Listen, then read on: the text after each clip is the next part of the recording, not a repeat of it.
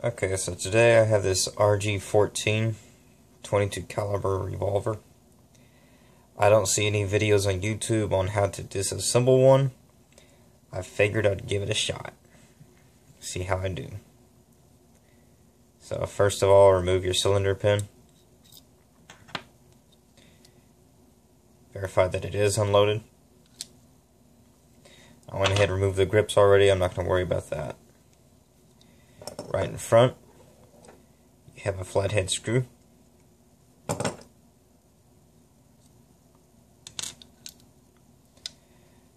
Cylinder comes out with a crane. Slides right out. Nothing complicated about that. Next we have three more flathead screws. One and two are identical. Number three is going to be different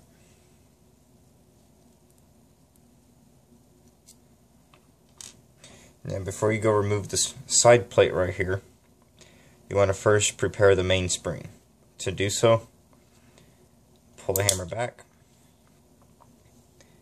and you'll see a hole in this rod for the, for the spring rod.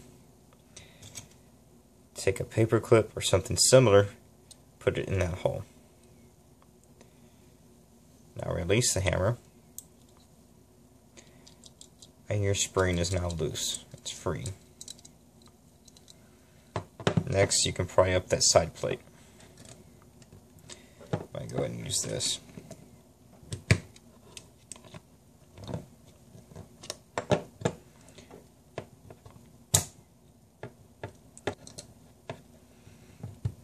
There we go. Okay. Something to watch for Uh, if it's going to stay on the frame or it's going to stay on the side plate or it's just going to fall free. There is a straight pin right here. This is just a wedge for the two pieces. You want to make sure that is accounted for and set aside. That will go on last. The side plate has no other springs or pins on it. You remove your mainspring Nice and easy. For the rest of this, I want to first remove this cylinder lock by releasing the tension from the spring and hold the other parts right here with my thumb.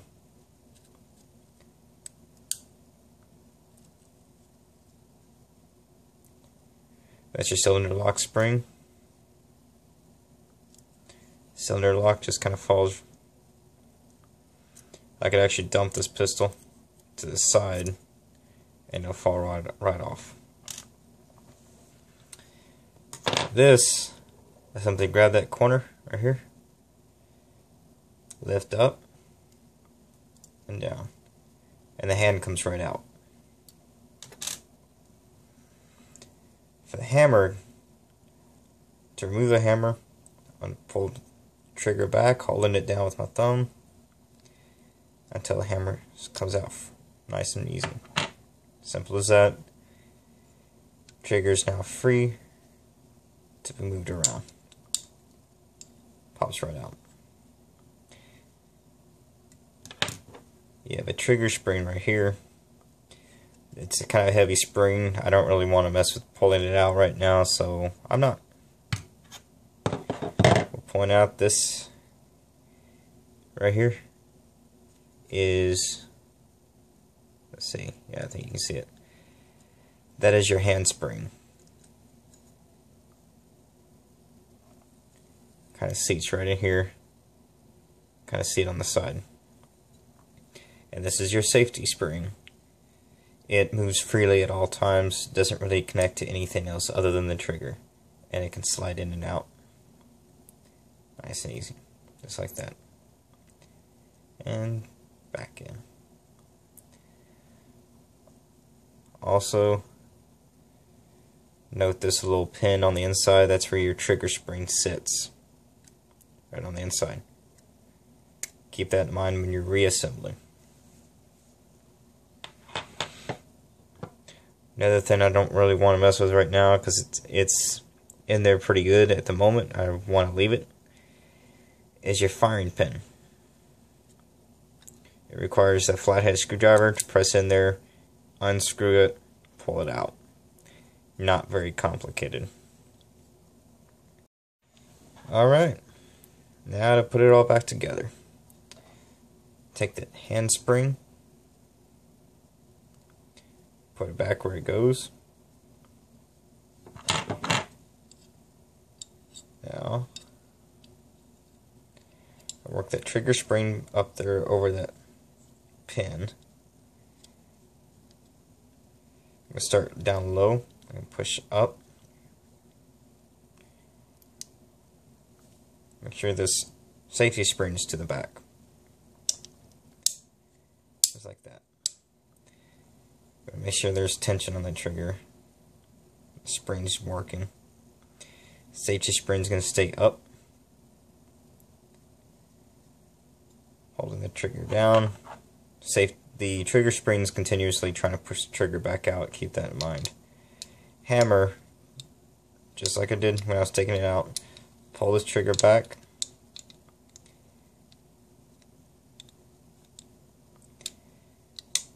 Hammer will fall right in place. You see where the trigger is. Okay. Just like that. Safety spring should be seated as you can see here. That's where it belongs. So, uh, I'm going to do the hand right now. I already have the spring in there. I'm just going to press down on the spring at the end of the hand. And I can't really see it through my thumb. But move it around till it finds its finds its seat. Just like that. Gonna drop the cylinder lock back into place.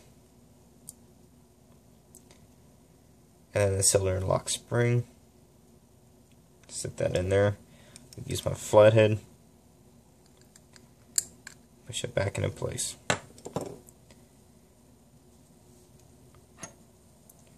Return the mainspring.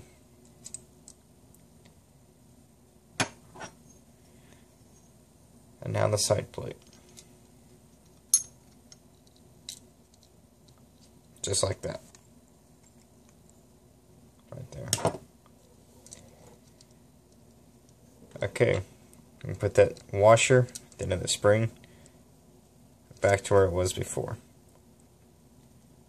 Just like that. Pull the hammer back. Paper clip out. And that's done. Return all the other screws. Alright. Those three screws are back in there. In proper location. I'm going to show you this now.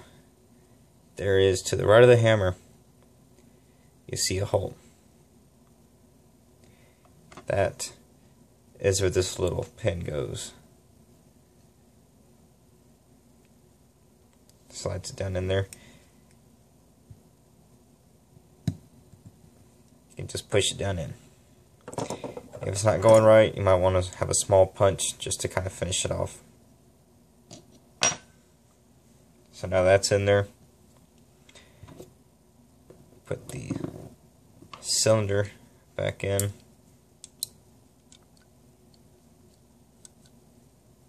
In fact, I think I'll put the cylinder pin in just to hold it in place.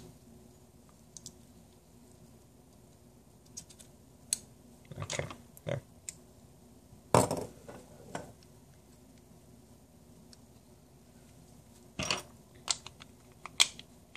Back on.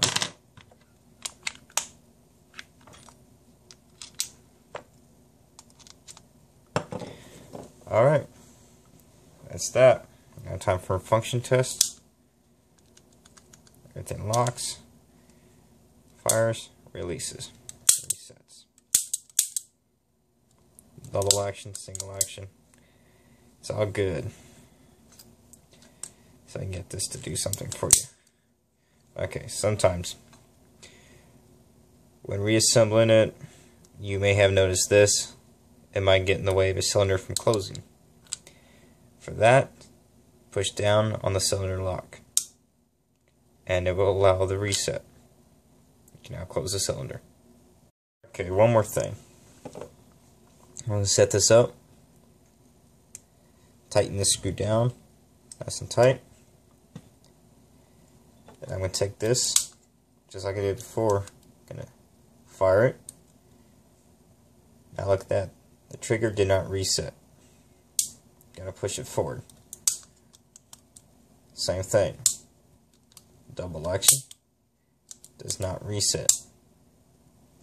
If it's doing this after assembly, it's because you over tighten the screw. Back that screw off and just finger tighten that.